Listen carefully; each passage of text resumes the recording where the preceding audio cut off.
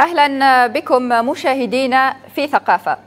وسط عالم مضطرب مليء بالصراعات والنزاعات يبرز الفن كإحدى الوسائل للتعبير عن المأساة الذين يعانون في صمت من هول الظلم الذي يقع عليهم. والعالم يحتفي باليوم العالمي للطفولة. نتوقف عند مأساة الطفل الفلسطيني وكيف ينظر الفن إليها؟ وتناول أبعادها المختلفة في ظل ارتفاع عدد شهداء الأطفال والوضع الصحي الكارثي الذي يعيشه الفلسطينيون وخاصة الأطفال منهم.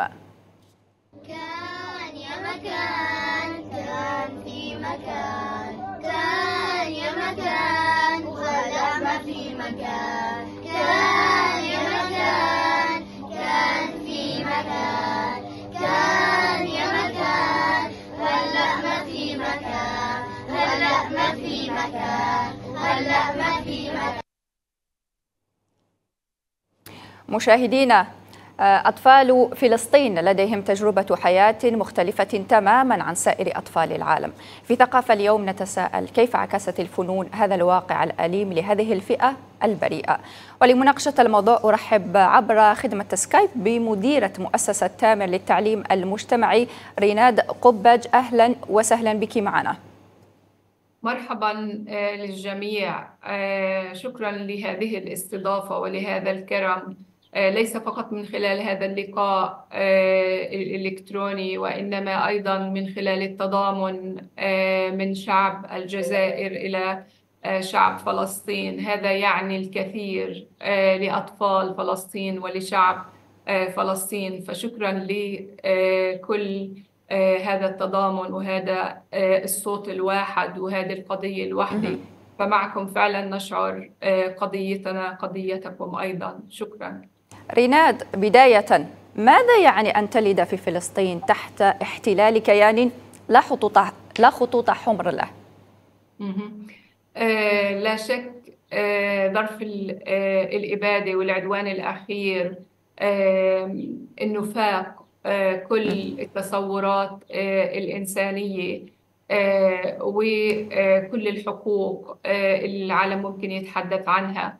وموضوع الإبادة الأخيرة ويمكن من هذه الأغنية البسيطة اللي بلشنا فيها كيف الأطفال بيحكوا عن موضوع الأمكنة وكيف إنهم خسروا كل الأمكنة الخاصة فيهم. فلم فلم يعد هناك مأوى. للأطفال لا بيت ولا مدرسة ولا مستشفى ولا شارع. فكل البنية التحتية للحضارة لم تز... يعني لم تعد موجودة. موجودة. وخلال فترة الإبادة وما قبل الإبادة طبعا الأطفال كانوا يعانون من صدمات نفسية هائلة. وكان على الأقل ما قبل العدوان الأخير كانت 53% من أطفالنا يعانون من صدمات نفسية. وخلال الإبادة طبعا أصبح جميع المجتمع وجميع الأطفال بنسبة 100% هم ضحايا لصدمات نفسية هائلة. وكمان كيف إحنا بنشوف إنه أطفالنا للأسف خلال فترة الإبادة على الأقل استشهد 16 ألف طفل. على الأقل منهم 6650 طفل كانوا يرتادون المدرسة. فبالتالي يعني الخسارات هائلة وكبيرة بالذات النفسية والمعنوية على المجتمع ككل. خسارات خسارات كبيرة ريناد والحرب ما زالت مستمرة. والقصف أيضا واستهداف المدنيين واستهداف هذه الفئة البريئة أيضا مستمر. هذا الواقع المرير الذي يعيشه الطفل الفلسطيني والعالم ككل يحتفي بألعابه في يوميا وخاصة لليوم بمناسبة عيد الطفولة ويوم الطفل أيضا. الفن هل استطاع أن يعكس معاناة الطفل الفلسطيني؟ هل ترجم هذه المعاناة في أعماله؟ لا شك آه إنه الترجمات آه للواقع آه موجودة وواضحه كثير. فمثلا في مؤسسة تامر للتعليم المجتمعي لما بنشارك الأطفال وبنطلب منهم إنهم يكتبوا أو يرسموا مثلا. يعني شفنا الأغنية الأغنية اللي سمعناها هي من إنتاجهم وبالتالي كيف موضوع البيت بالنسبة لهم المفقود الألعاب الأمان. فالأطفال تماما هم واعيين لما يجري حولهم وبالتالي قديش مهم إنه يصير في حوارات حول ما يجري حولهم إنهم يكتبوا عن ما يجري حولهم أن يرسموا يعني مثلا مسار العودة من خلال الفن إنه هذه واحدة من الأنشطة اللي هلأ بنعملها بغزة. قديش مهم الطفل إنه يحافظ على حلمه بإنه رح يرجع لبيته وبالتالي مهم إنه يفكر بعودته لبيته. في غزة المتخيلة ما بعد العدوان وما بعد الإبادة. فهذا بالنسبة لنا من خلال الأنشطة. نحفر أو بنحاول قدر الإمكان إنه نحاول نسعى مع حدا الطفل للحفاظ على حلمه على حلمه بالعودة لبيته وإنه الخيمة هي شيء مؤقت ومركز الإيواء شيء مؤقت. وهذا الحلم طبعا بيكون مبني على واقع إنه فيما بعد إنه نسعى جاهدين من خلال المجتمع ككل بانه نلقى طرقنا ونلقى الإرادة تبعتنا بالعودة لبيوتنا. ولا شك يمكن خلال الصدمة اللي هلأ بيتعرضوا لها ما بنقدر نحكي عن تعافي بس بنقدر نحكي عن قديش مهم هذه الأنشطة الفنية إذا كانت رسم إذا كانت كتابة إذا كانت مسرح أو إذا كانت أغنية قديش مهم انها تضلها موجوده وانهم يكونوا منتجين للمعرفة. وأن تكون أيضا متنفس لهم. ريناد هذا الأمر وهذه الإنتاجات التي تعملونها على مستوى مؤسسة تامر هناك أيضا إنتاجات سينمائية سابقة وأفلام ربما وثقت هذه التجربة. محمد المغني آخر مرة في مهرجان عنابة أيضا كان له فيلم ابن شوارع. الذي وثق أيضا هذه الرحلة الصعبة بالنسبة للفلسطينيين الذين لا يملكون هوية. أيضا هناك فيلم حول الأطفال الصم ذبذبات في غزة. هناك أفلام وثقت الأردنية أيضا دارين سلام من خلال فيلم فرحة. يعني إلى أي درجة أن تكون هذه الفنون بمثابة وثيقة وأن توثق ما يعيشه الطفل الفلسطيني سواء خلال هذه الحرب أو في الحروب السابقة وكم هي كثيرة للأسف. صحيح صحيح. فعلا هذا التوثيق إذا كان من خلال خبراء بصناعه الفيلم أو حتى من الأطفال. لأنه يمكن إحنا في مؤسسة تامر قديش بنركز على صوت الطفل. فمثلا الأطفال بيعملوا أفلام نتيجة لهذا الوضع الحالي اللي بيعيشوه الأطفال بيكتبوا ويمكن هذا ما يميز عملنا بإنه صوت الطفل إنه يكون موجود ورؤيته للحاله والواقع السياسي والوطني والميداني اللي بنعيشه كمان هو موجود من خلال الطفل. فحتى بكتاباتهم بنحاول ما نأثر عليها إنه قديش نوفر مساحات قدر الإمكان هي آمنة إنهم يكتبوا. يعني مثلا واحدة من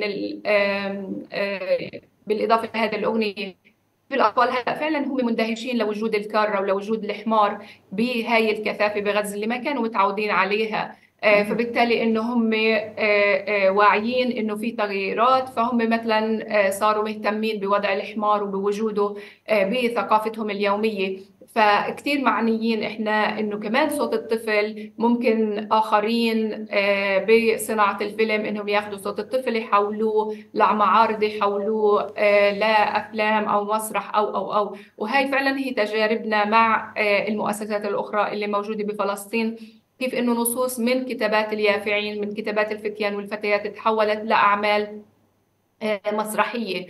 حتى الأطفال نفسهم مرات من القصص بيحاولوا ياخذوا نصوص ويعيدوا مسرحتها. إنه هلأ الأطفال مثلا هم منخرطين بإنهم يعملوا موسوعة الإبادة وبالتالي الحياة اليومية تبعتهم إنهم يوثقوها إنهم يسجلوها. حتى الألف بائية اللي بنعرفها إحنا فلسطينيا أو دار الفتى مثلا كانوا جزء من المساهمة ببنائها. هلأ بنرجع نبنيها من منظور له علاقة بالإبادة إنه كيف النون مثلا هلأ هي نزوح وكيف الألف هي هلأ إيواء. يعني تربطون رحلة التعليم بالقضية دوما لكي يستوعب الطفل وهو يتعلم أيضا.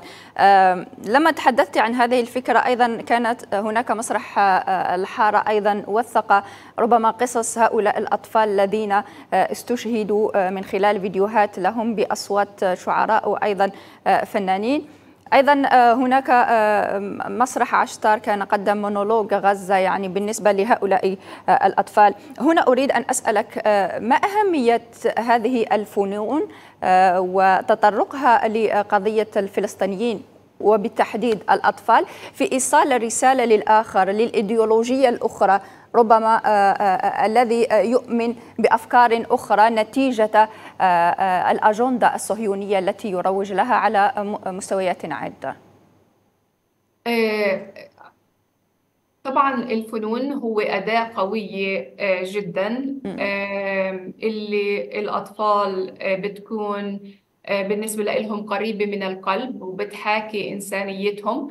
آه، فقوتها هي بإنسانيتها وبعفويتها. آه، إنه هم أكيد ما بدهم يكونوا آه، أي نشرة إخبارية ولا إنه بدهم يكونوا بمقابلات رسمية إنه هم بكل عفوية وبكل صدق بيعبروا عن مشاعرهم. فمثلا المونولوج اللي ذكرتيه مع عشتار إنه كانوا الفتيان والفتيات بالفرق الشبابية الخاصة بالكتابة لمؤسسة تامر جزء من هذا المسار.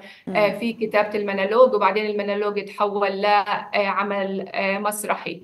كيف إنه هلأ شبابنا داخل مراكز الإيواء حتى من المعلبات المحل القاسي هذا بيحاولوا إنه آه، آه، يدخلوا وينخرطوا بفعل آه، ثقافي اللي من خلاله بشكل إنتاج واللي هو انوي واللي هو بطريقة أو بأخرى بحاكي مشاعرهم بحاكي مخاوفهم بحاكي ذاتهم وبحاكي المجتمع ككل من هذا المحل الإنساني من هذا المحل القريب واللي بالتالي ممكن إنه يترجم ويوصل لمحلات كثير آه، بالعالم. ويمكن إحنا من الناس اللي بلشوا يعملوا معنا مقابلات من العالم الغربي. كيف كان خطابهم بالبداية؟ وكيف هلأ آه، صار خطابهم اللي مليان تضامن آه، من خلال هذه المسيرة ومن خلال إنه يشوفوا التجارب الإنسانية. و الصعوبات والقهر والإبادة آه، اللي بيعيشوها آه، اللي بيعيشها المجتمع ككل وبالتالي لما كمان بيكون في هذا صوت الطفل أو صوت الفتيان والفتيات قديش هو صوت صادق لا يتحدث السياسي وإنما يتحدث الحياة اليومية يتحدثها بكل صدق وبكل عفوية. فلا بد من اختراق أي أجندات صهيونية من أي أجندات كان فيها تغيير للواقع اللي بيعيشه الفلسطيني تحت الاحتلال آه، خلال كل آه، هذه السنوات. آه، ريناد أنتم في مؤسسة تامر تعملون أيضا على تشبيك العلاقات بين المبدعين وأيضا الأطفال. ما أهمية هذا الأمر وبقاء جسر التواصل فيما بينهما؟